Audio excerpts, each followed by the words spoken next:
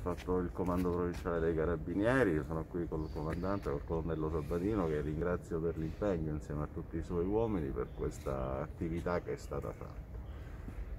E facevo adesso le riflessioni col colonnello come le avevamo fatte anche con, con gli altri uomini e con i comandi territoriali, col, col nucleo, col maggiore Rupio, altro, che eh, quest'estate c'è stato questo omicidio del quale i media si sono dimenticati, non per, non per colpa, per carità, non è una scusa, ma eh, ti dà un po' l'idea di come sia oggi la, la società.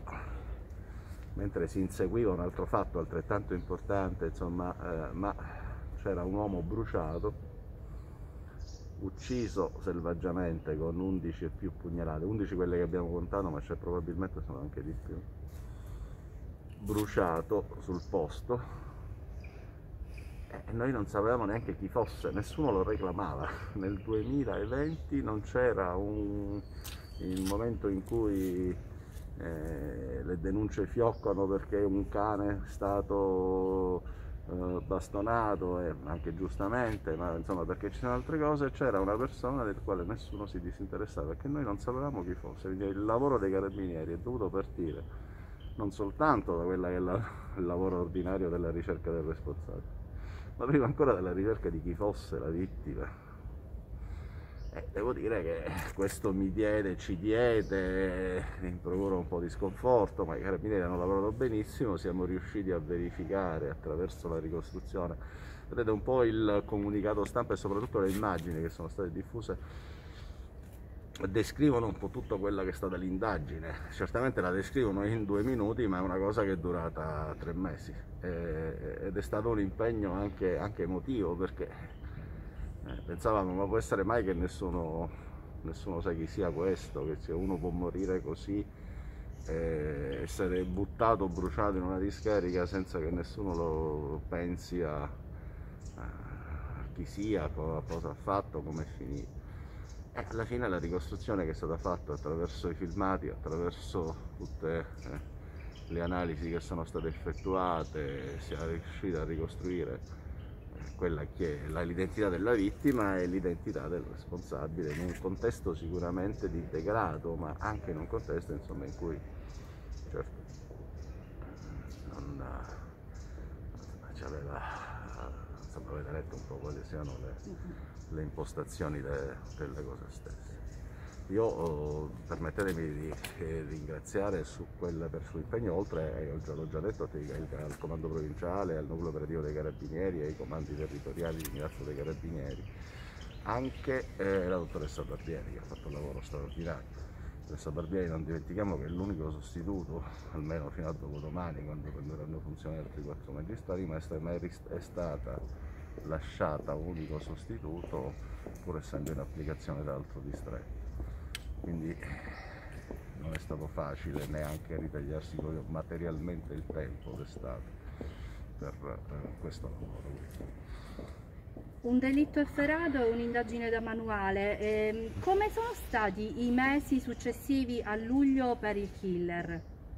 Ma guardi, sul killer noi non abbiamo, oh, lo attenzionavamo da un certo momento in poi, ma non era un delinquente di quelli abituali o comunque una persona aderita al crimine. Era una persona che viveva in un contesto sicuramente degradato, in un contesto molto particolare. Noi lo ascoltavamo, però non trapelava né alcuna preoccupazione, anche perché dobbiamo dire che quella assenza di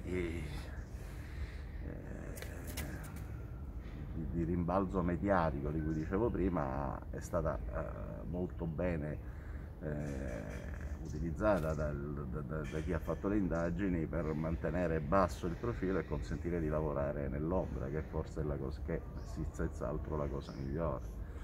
Quindi noi lo ascoltavamo, è una, una situazione in cui lui probabilmente non pensava neanche di essere, di essere sotto attenzione, mentre invece noi grazie alla ricostruzione con i filmati e poi le intercettazioni che sono state fatte abbiamo ricostruito un po' i suoi movimenti. Era stato arrestato precedentemente, era pregiudicato per quale reato? Ma aveva una rapina di molti anni fa, quindi non era neanche un soggetto uh, sottoposto a un'attenzione momentanea, diciamo, era uscito un po' dal, dei radar investigativi perché era da tempo che non delinqueva, aveva una rapina di anti- tanti anni fa, niente di particolare, cioè uno che, eh, più il contesto ambientale che, la, che, che, le capacità criminali. Come mai? È stata la premeditazione dell'omicidio, ma sì. la distruzione del cadavere è un'idea che è arrivata dopo oppure nel contestuale lui ha previsto, allora, previsto anche questo? Lei mi chiede cose che saranno oggetto di discussione nel processo, sicuramente, come un po' tutto ovviamente, come anche le responsabilità del soggetto per carità. Però questo è un aspetto sul quale noi abbiamo lavorato unitamente agli investigatori, unitamente alla dottoressa Barbieri, su cui abbiamo ragionato molto. La premeditazione è contestata perché noi abbiamo visto che il soggetto per più di una volta nei giorni precedenti aveva fatto dei sopralluoghi sul posto. E in un'occasione aveva visto che c'erano i carabinieri sul posto e si era allontanato se, eh, di, pensando di non farsene accorgere. Dopodiché non dimentichiamo che per bruciare un cadavere non è che accendi un fiammifero, devi avere qualcosa dietro, quindi devi aver predisposto qualcosa per, per un'organizzazione e di conseguenza la premeditazione noi riteniamo che sia un elemento che tra l'altro il primo step lo ha retto. Quindi, Abbiamo letto oh, che questa, diciamo, questo delitto è stato finalizzato alla pensione, una pensione a dire il vero anche abbastanza eh, piccola, ma eh, nei, nei, mesi successivi ha, ha, avuto accesso nuovamente alla pensione no. o tutto davvero no. si è risolto in 650 non euro? Non lo ha più, allora, eh, non sappiamo semmai se per i periodi precedenti quali fossero oh, eh, i rapporti sulla pensione stessa, Noi sappiamo però che nei periodi successivi la pensione non è stata riscossa. Ok, grazie. Va bene così, grazie a tutti voi.